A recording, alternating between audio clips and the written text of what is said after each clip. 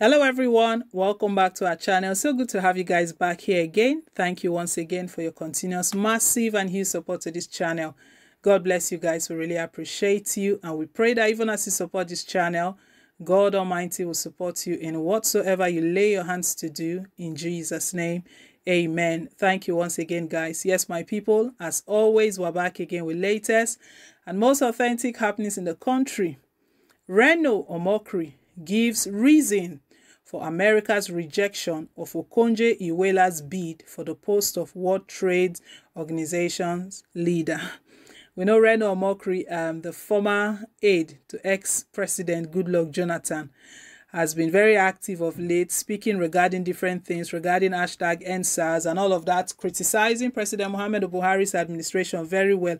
And also he has lended his voice and he has given a shocking reason, he has revealed, made a shocking revelation why the Ameri why America is actually rejecting um, Okonjo Iweala's bid in spite of all the support that she has gotten so far. We'll bring all of the details shortly, guys. But before we do, my people, please, if you haven't given us a thumbs up, if you've been following Peak Media for a while now and you still haven't given us a thumbs up, guys, what are you waiting for? Show us some love. Do go ahead and give this video a thumbs up. Click on the like button. Don't forget to subscribe as well. Hit on the subscribe button. It really does mean a lot to us. And thank you once again. Yes, we'll go straight into the news now and grab all of the details. It is no longer news that the United States of America has openly shown its disapproval against Nigeria's bid for the post of the Director General of the World Trade Organization, bearing in mind the formidable status of Nigeria's contestant for the prestigious post. American stiff resistance has raised a lot of eyebrows. Dr. Ngozi Okonjo-Iweala, Nigeria's former Minister of Finance and Economics, and world-renowned development expert, has a huge wealth of experience. Despite her pedigree and contributions to the world economic reforms, the US government has refused to bat an eyelid over its stance. To this end, popular social media influencer, writer, philanthropist has revealed the possible reason for US rejection on Nigerian's candidates he disclosed the issue is closely linked to the United States of America's general election. Reno Omokri noted that the U.S. rejection has nothing to do with competency. He stated that about 1.8 million South Koreans reside in the U.S., while just a fraction of about 380,000 Nigerians live in the United States of America. This makes the population of South Korean residents in U.S. to be much more than that of Nigerians. He urged people to do the math, insinuating that after the elections, US will change its stance. Recall that a statement issued by the Office of the U.S. Trade Representative Robert Lighthizer disclosed its preference for South Korea's candidate. In its statement, UN agency was in dire need of reform, which must be driven by someone with real hands-on experience.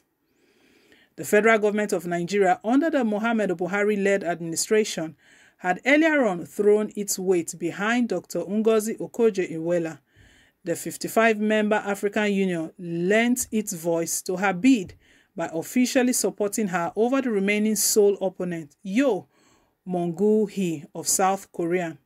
A group of Caribbean and Pacific countries have also given her a firm support.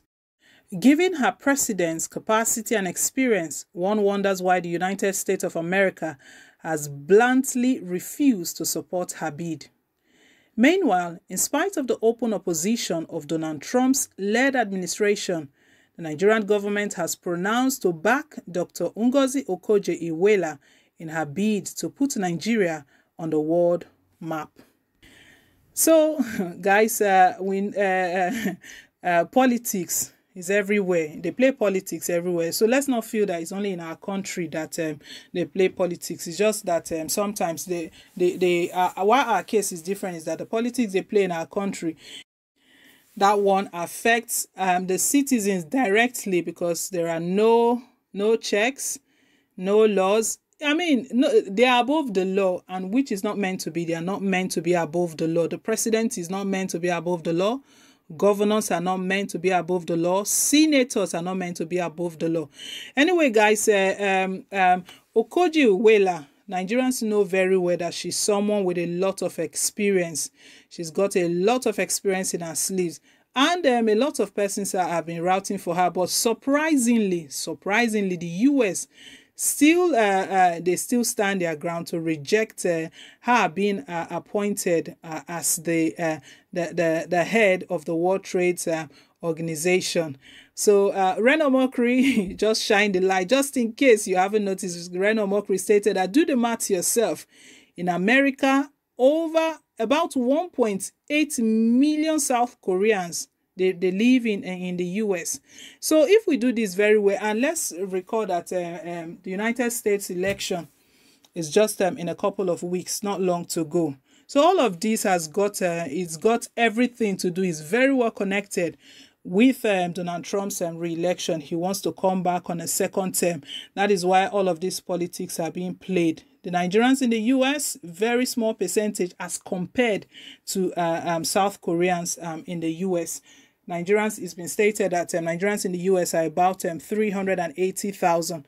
But the surprising thing here that has been revealed as well, that all of this that uh, um, Donald Trump is doing come after the end of the election when he wins that he will change his stance. He's only doing all of this all of these are just politics related all of politics. That's why they are he's pushing he's pushing for the korean um, um lady to actually win. You can imagine what that would do to his um, presidential uh, bid if uh, he pushes uh, support for this korean lady mo young hee of south korea to win what um, she will do with the 1.8 million koreans that reside um, in the US. Anyway, guys, this is a uh, um, Reno Omokri insinuating that he believes that so far so good, everyone supporting Okoje Owela and all of the um, contributions she's made to the economy, to different nations. Donald Trump is still um, resisting that this is very much the reason. Guys, if you've got a different school of thought, like I said, all of these are Reno Omokri's um, insinuations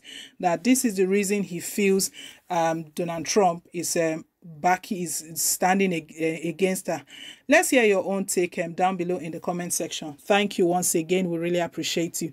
So my people, please, if you still haven't given us a thumbs up yet, do go ahead and give us a thumbs up. Click on the like button and don't forget to subscribe as well. Hit on the subscribe button. It really does mean a lot to us. Till I come your way again with more updates. Bye for now and God bless.